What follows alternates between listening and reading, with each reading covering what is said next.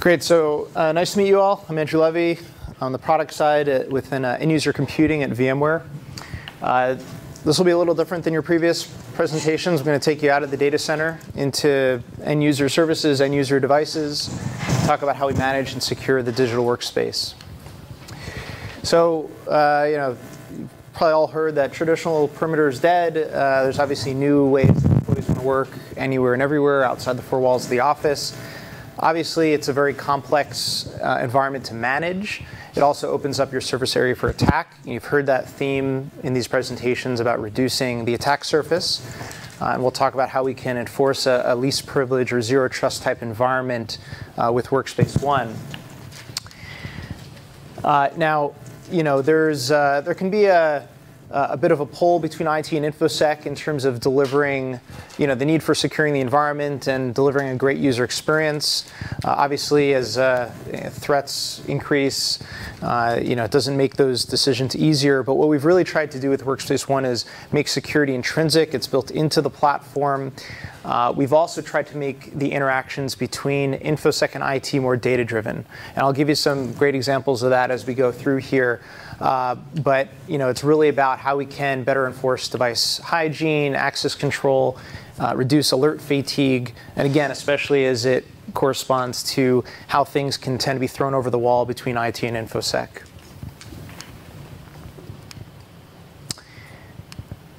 All right. So uh, as um, many in the industry do, we think about security in layers. Uh, the first one here is around your users. Uh, I mentioned access control, so we have full uh, identity and access management uh, through VMware Identity Manager. Uh, so you can manage your users, your groups, uh, your certificate lifecycle, distribution of those certificates, renewal, revocation.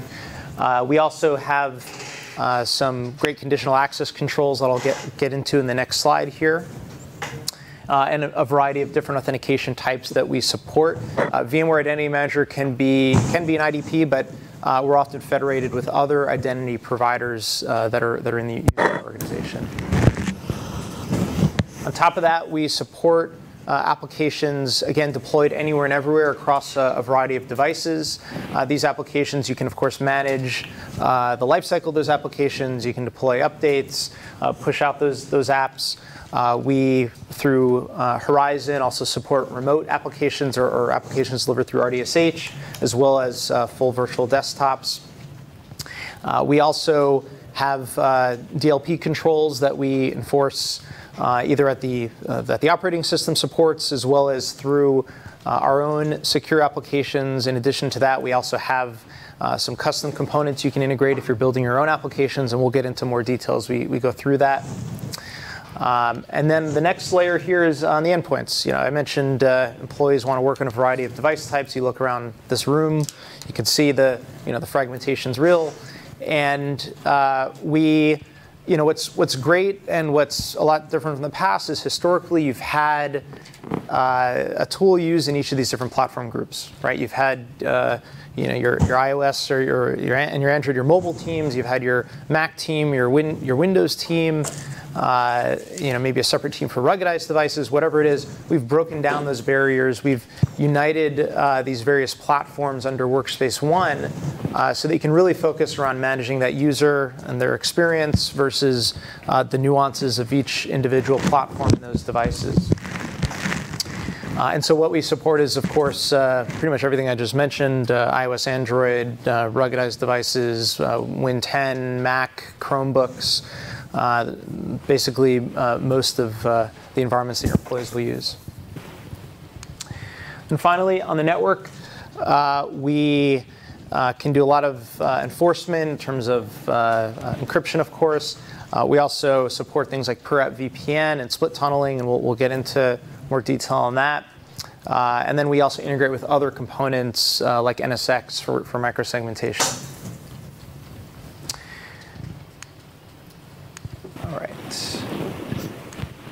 So I mentioned conditional access in the, in the last slide. Uh, now with conditional access, what we've done is brought together our identity uh, controls along with our device management, our device posture information. So what that means is based on a variety of factors, you can uh, block or allow or uh, require step-up multi-factor authentication depending on what conditions are present in the environment. So what this means is, uh, you know, based on say location or what uh, IP address range they're coming in on, based on the the configuration of the device. If it's out of in or out of compliance, you can set a variety of policies uh, to enforce that access. We've actually also uh, uh, extended this with uh, Workspace ONE Intelligence. We'll get into more, more detail on what, what that is, uh, but that's basically our analytics to tie all this data together that we're collecting across the digital workspace. All right. Now, with Workspace ONE, we uh, there's a variety of uh, controls that are in place. I'm going to start at the, the top here and work my way around here. Uh, so we do have a, a, full set of our own secure productivity applications that we deliver as a part of that digital workspace. Uh, so we have, of course, Workspace ONE Intelligent Hub, which is a unified app catalog that allows for single sign-on uh, across all of your applications. That's delivered to the employee, and it's uh, it's a consistent experience across whatever device you're accessing that unified app catalog on. Uh, of course, we do take advantage of when you're on a certain platform for showing, say, the, the native applications that are native to that platform.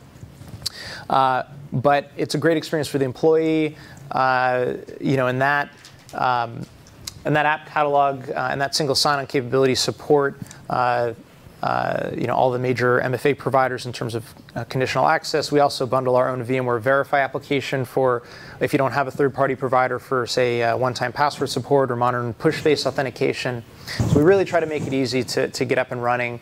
Uh, and the, the platform is very modular. So if you don't again, if you don't have a component, we, we, we, do, and we've also decomposed the platform. So basically, uh, the tools and technologies we've embedded in our own secure productivity apps we allow you to embed in your own applications things like our privacy module, our uh, AirWatch SDK for uh, uh, containerizing your applications and for, for securing them. Uh, even our app analytics, uh, we have an SDK called the Intelligence SDK uh, that you can embed in your own applications. In addition to Intelligent Hub, which is our app catalog, I mentioned we have Boxer, which is our secure email application supporting things like uh, uh, SMIME, uh, email classification, uh, we're also uh, probably will be the only uh, email client to support NIAP, uh, to have an NIAP certification. So extremely secure, but again, we've also focused a lot on user experience. It's an over has over four stars in the App Store, uh, and our uh, you know our customers love it. In addition to Intelligent Hub Boxer, we have a there is a few others. Content Locker from for managing and securing content. Uh, especially relevant. You can think about uh, scenarios like delivering a flight plan to uh, a pilot. Um, you know, there's uh, there's definitely a lot of great use cases in terms in terms of delivering and managing secure content through the platform. And I'll get into uh, it says DLP policies. There I actually have a separate slide on DLP that we can cover in terms of the controls there.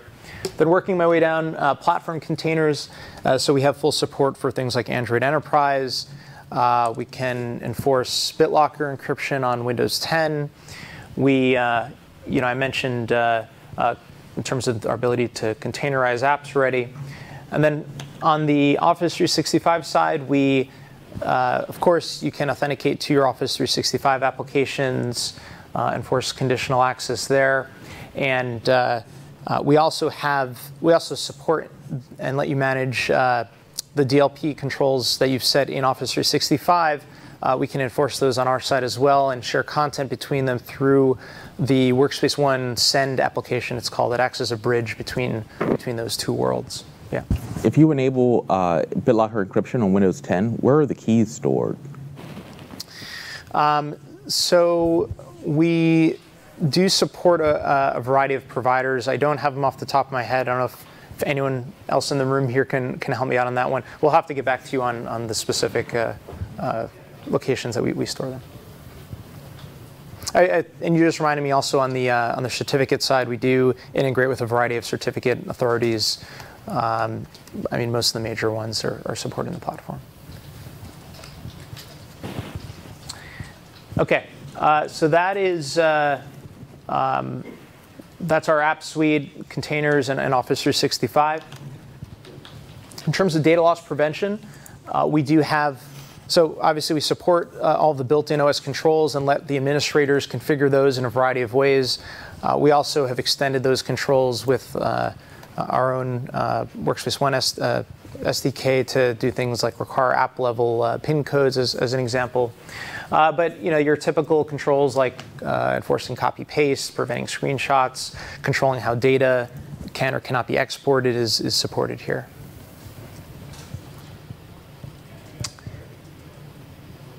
One other thing uh, to mention along with, uh, uh, in terms of this previous slide and here is that the, the enforcement of these policies can be done in a, uh, in a variety of scenarios. So uh, we also support something called adaptive management, which means um, we can deliver that full app catalog even if the device isn't fully under management, if it's not, say, MDM enrolled.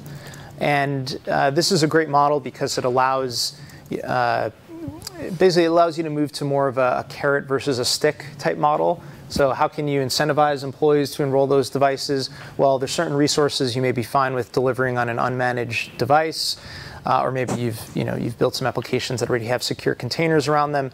Uh, whatever it is, you know, so let's say your favorite video conferencing application may not require uh, full enrollment, but that secure financial, that secure application that has secure uh, private financial data may require the device to be enrolled. It's at that point that they try to access that that we can prompt them to go through that enrollment process as an incentive for expanding what they can access on that specific device.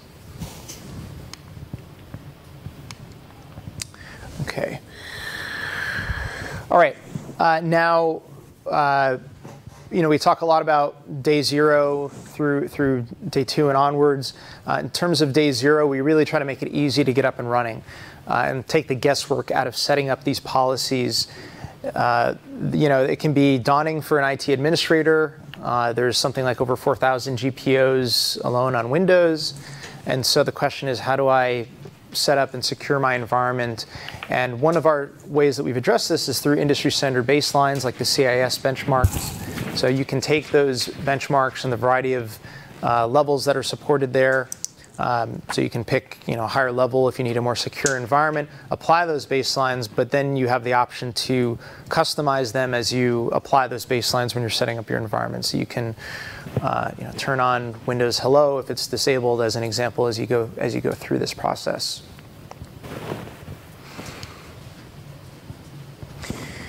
Now, uh, I've talked about a variety of components. Uh, I've talked about uh, our core UEM or Unified Endpoint Management component, which is uh, for device management, uh, which helps you continuously apply device policies, you know, reduce configuration drift, uh, really drive towards a, a desired state. I talked about VMware Identity Manager in terms of access control. I mentioned Horizon for VDI remote applications. Uh, there, there's a lot of data sitting in those systems. What we've done is we've brought them together into a large scale data lake so that we can derive insights and attach those insights to automation. So there's a full automation engine built in intelligence uh, to be able to look for changes in the environment and then automate and orchestrate your actions as a result of those changes. And I, will get into some examples and, and do a demo here. Uh, Is that a cloud-based service or something I can put on site?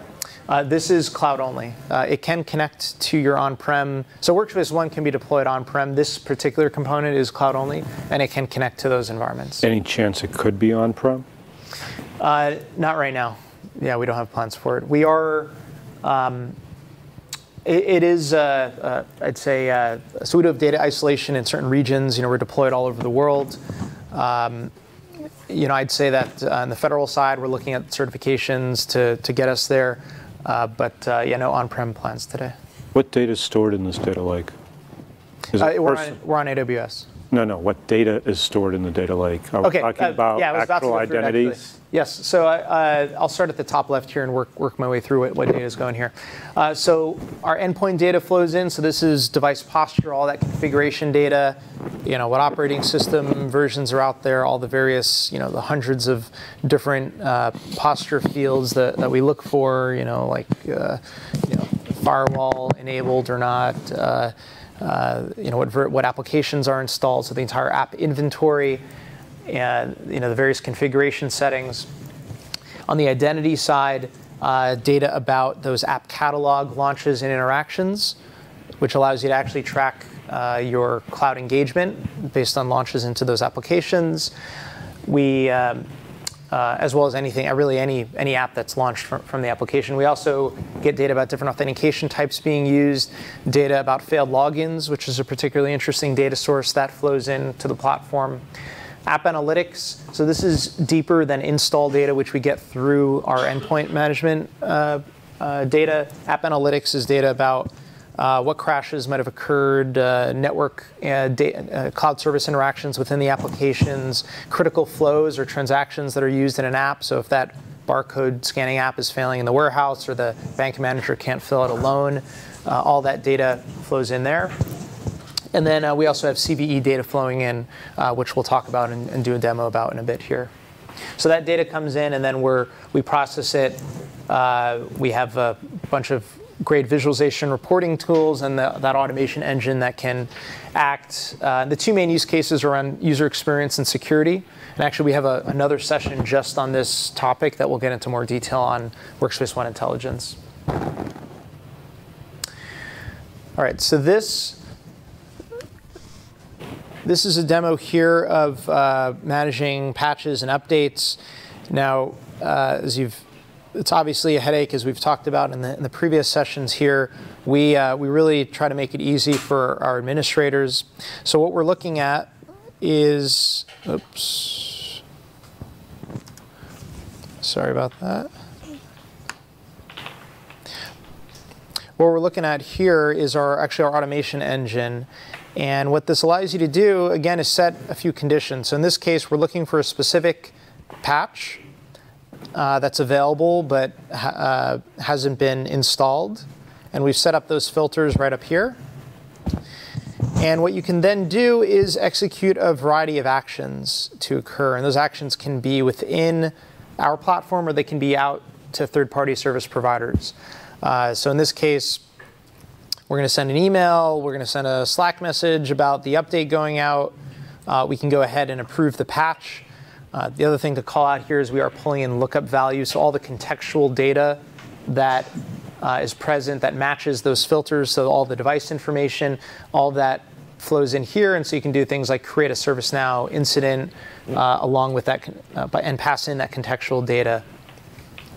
So we've configured this to run, and now you can deploy that update. And if we switch back to our UEM console, we can see the status of all of the updates, I'm going to search for that specific patch. Excuse me, could you shrink this down so we can see the fonts? Because to be honest, I can't read anything.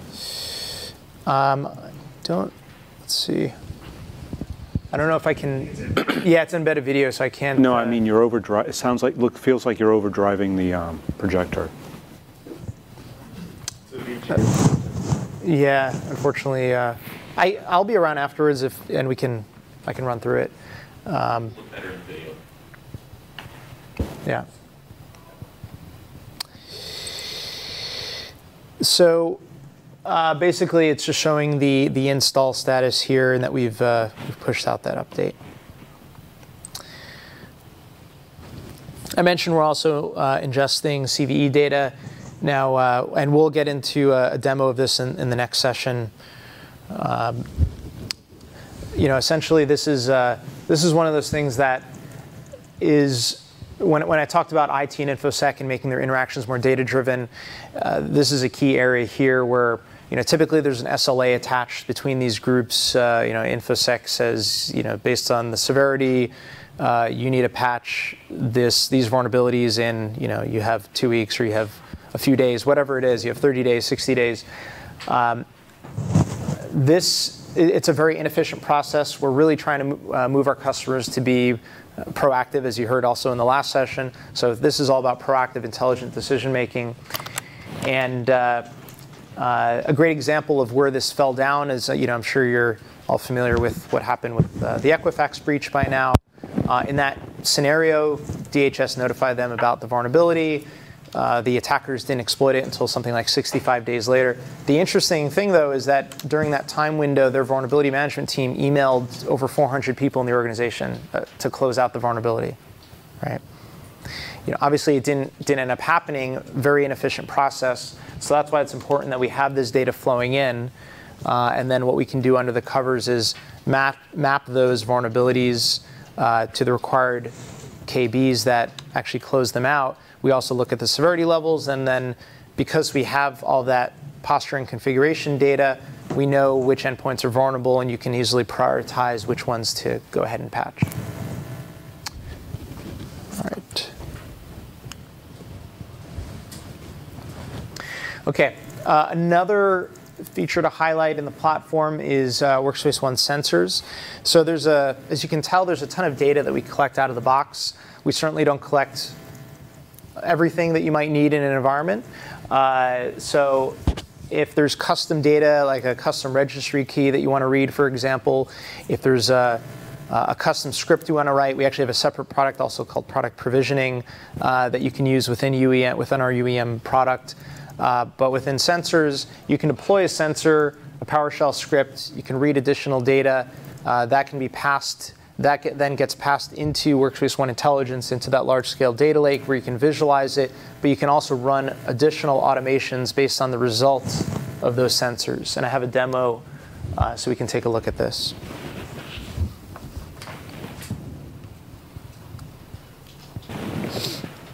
So in this case, we're looking at a dashboard of uh, various sensors that have run, you know, collecting uh, things like uh, some, you know, bio, some BIOS values, uh, BitLocker status, uh, different storage available. Uh, so let's go ahead and skip ahead here.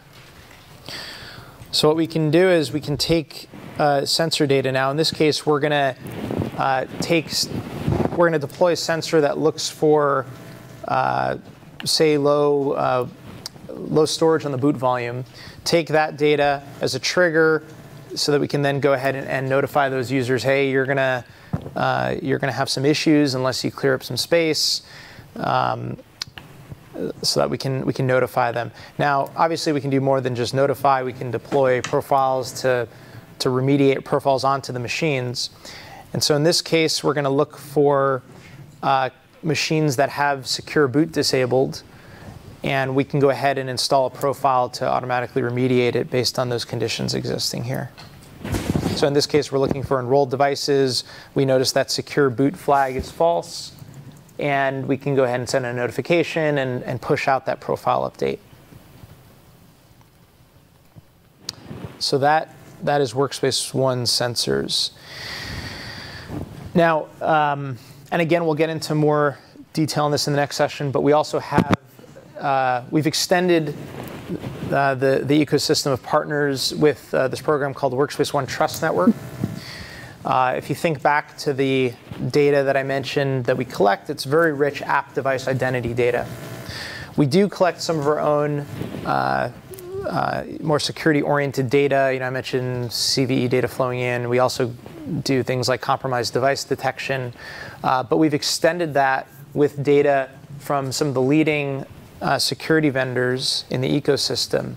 And what we're doing is we're ingesting threat information directly from these vendors. Uh, this is, these aren't commercial threat feeds. These are products that our customers have jointly uh, pushed out there in their environments alongside Workspace ONE. Uh, so whenever you know, so we can get data about things like if there's malware present, uh, if there's DLP violations, say through a CASB, uh, if there's man-in-the-middle attacks going on. So that data flows in. We can match it up against our existing data and then drive automated remediation. Uh, so the goal is really automate the IT response. You know, the InfoSec teams have their existing SOAR tools, their existing playbooks.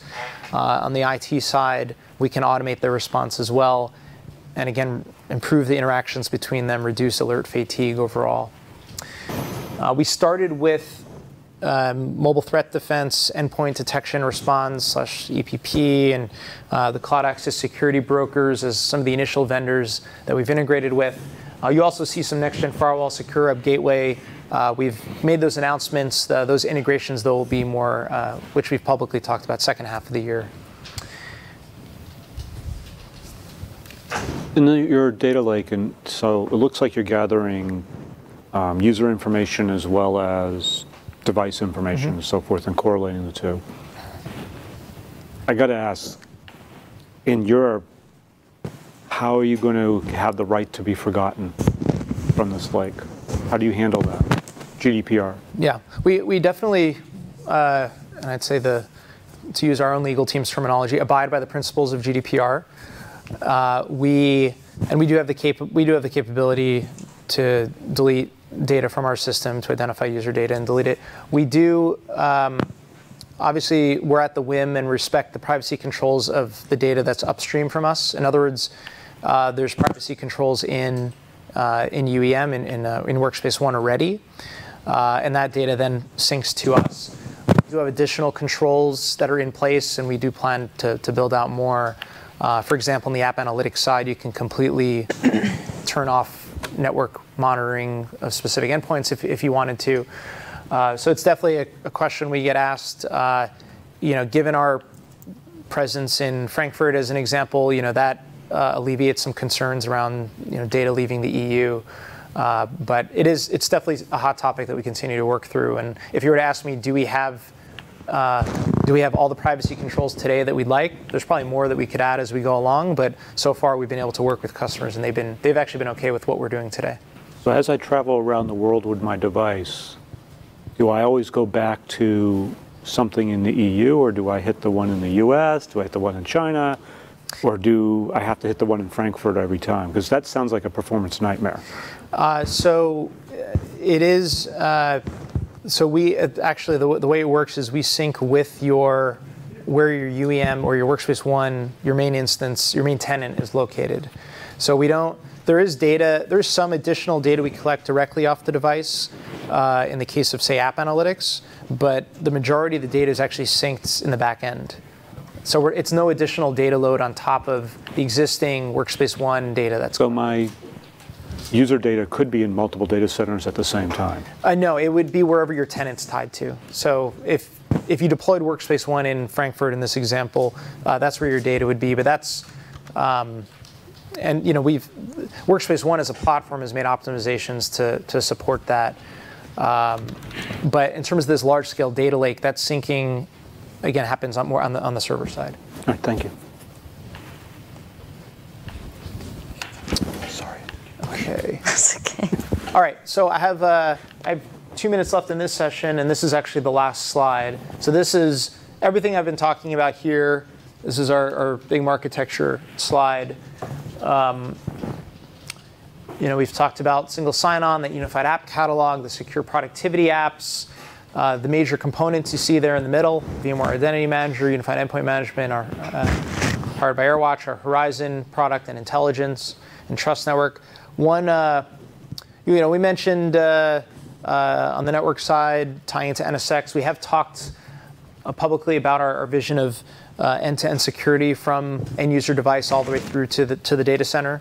You can see that uh, in these components. You know, just like we're doing with app defense, enforcing the known good, NSX in terms of microsegmentation, and us in terms of our compliance policies and our access control. It's really all about reducing that attack surface, especially with things like per VPN, where that application's data is directed to a single source in your data center where we can block east-west, uh, unnecessary east-west traffic. Um, we're also working on interesting ways that you can automate your response and calls into the data center based on threats we see on the end user devices and endpoints. We showed a neat demo of this at, uh, at VMworld, this past VMworld, where uh, there were some domain controller administrators on their Windows PCs. They were compromised, and what we did was we actually called into App Defense and raised the threat level on those domain controllers. Uh, as a proactive response to noticing that threat, as well as put, putting those devices into quarantine groups within NSX.